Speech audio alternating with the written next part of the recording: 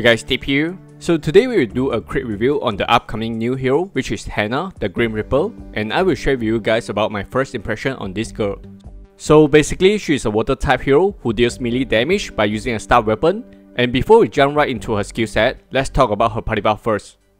At first, I thought that Hana party buff was gonna be either melee attack or water attack, but in the end it turns out to be crit chance. So here's the thing. Many people always thought that crit party buff on melee team is a terrible idea just like weapon skill jump speed, but in fact, crit party buff actually does much more better than we expected. So in my previous video, I have also tested out crit party buff on the melee team, and surprisingly it works pretty well even for the melee team as long as you pair her up with the one defensive party buff and also one melee attack party buff. But still, if you want to compare between crit and melee attack party buff, melee attack still comes first and is much more valuable compared to crit, because you can run a team and do well with 2 defensive party buff plus 1 melee attack, but not really with 2 defensive party buff plus 1 crit chance.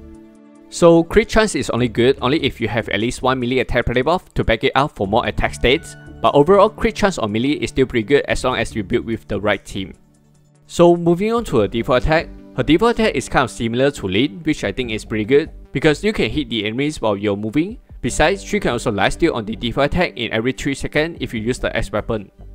While for the weapon skill, she is a 4 skill chain hero with extremely short weapon skill cooldown which is only 4 seconds, so you can keep on spamming the skill all over again and her weapon skill hits pretty hard as well.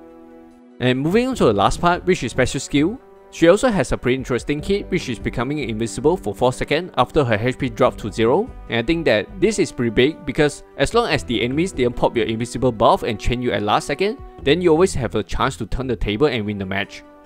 Besides, she will also get the attack speed buff and movement speed buff right after she pop the invisible buff. So I guess this hero mechanic is kind of similar to like, if I can't win against you, then I'm going to bring you down with me. So eventually, you kind of want to build her with at least one melee attack party buff in the team, so that you can fully utilize her special skill.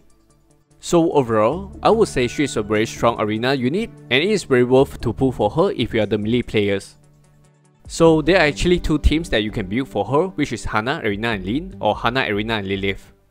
Team 1 is strong against range meta team, while Team 2 is strong against melee meta team. So the best possible team party buff for Hana will still be 1 crit, 1 defensive party buff, and 1 melee attack. And the reason why FP isn't here is because Arena is still the better main core compared to FP, and if using a 2 tank buff plus 1 crit isn't going to bring out the full potential of Hana. So that's all for today's video and I hope you guys enjoy watching and I will see you guys in the next video. Bye!